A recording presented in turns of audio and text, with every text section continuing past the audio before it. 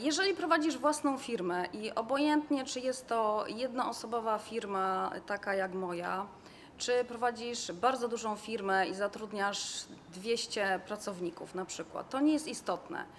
Ważne, że jeżeli zgłosisz się do Mistrzowskiej Szkoły Storytellingu Biznesowego, to Monika Górska mm, przekaże Ci wiedzę do zastosowania od razu i poprzez napisanie opowieści biznesowych Jestem pewna, bo sprawdziłam to na sobie, Twoja firma wyjdzie na wyższy level. Y, Będziesz mierzył wyżej.